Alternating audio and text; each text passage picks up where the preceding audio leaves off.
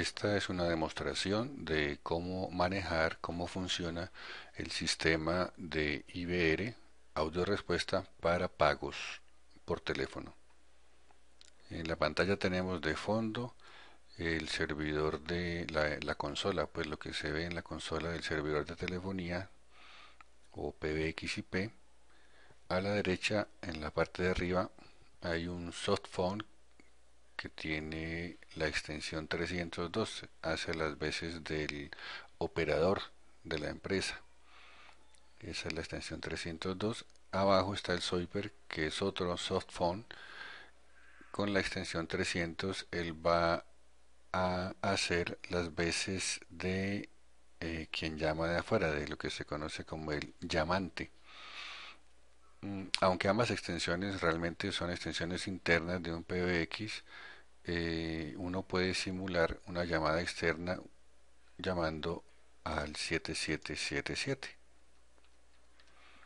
Es una técnica que tiene una característica que tiene el PBXIP. Marcando 7777 simulamos una llamada desde fuera hacia nuestro PBX. Bueno, vamos a hacerlo entonces. Bienvenidos a la versión de desarrollo de la audio respuesta para pagos en línea. Marque 1 para comenzar o 0 para salir. Eh, marcamos 1, es como si hubiéramos llegado al PBX inicialmente y queremos hablar con el operador. Vamos a marcar 1.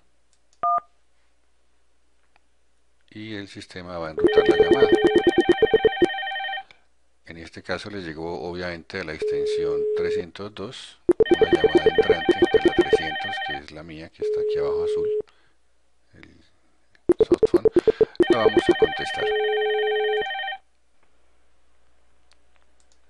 En este, en este momento, se va a ver como eco un poquito porque el micrófono está entrando por ambos por ambos, por ambos ambas, ambas extensiones. Eh, Eh, ya contestó, ya contestó la 302 En un en momento, un momento dado el llamante, llamante dice que quiere pagar Lo que lo que debe él debe hacer es marcar numeral, numeral, numeral, esperar, esperar un tono de marcado y luego 783.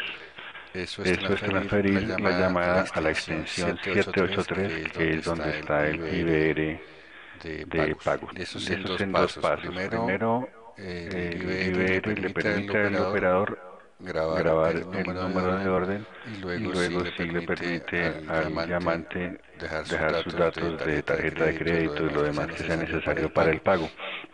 Y el Y el proceso hace, hace que, que cuando, cuando el operador marque la extensión, que el, el número de, de orden, el el llamante, va a tener una música de fondo.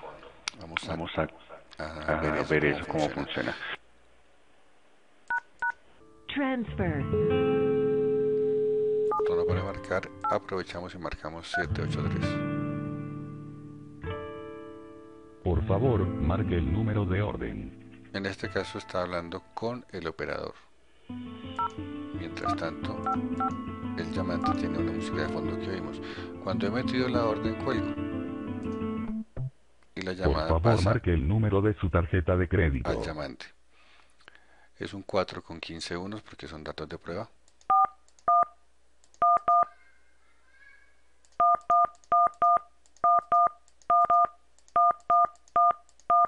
Continuación, marque 1 si es Mastercard, 2 si es Visa, 3 si es American Express, o 4 si es Diners. Supongamos que es 2, es Visa.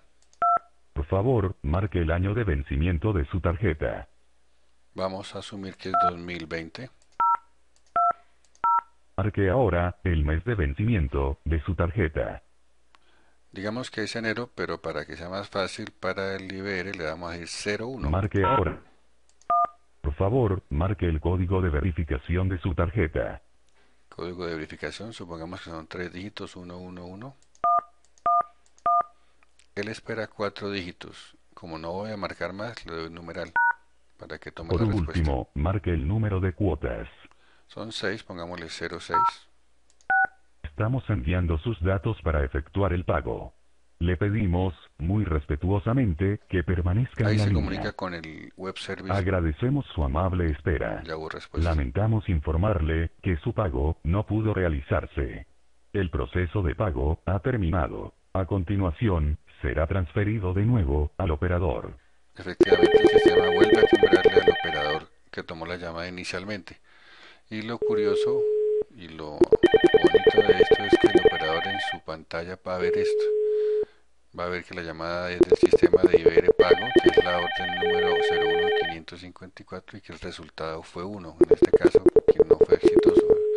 Exitoso es 3. Entonces contesta.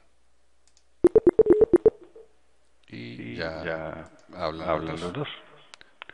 Hasta, que, termine la llamada, bueno, los últimos detalles, etcétera, etcétera. Listo, Listo, eso es la demostración. Espero que haya sido bastante. Voy a colgar ante todo.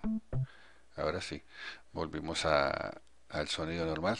Espero que haya sido bastante claro, bastante pedagógico, didáctico. Y muchas gracias.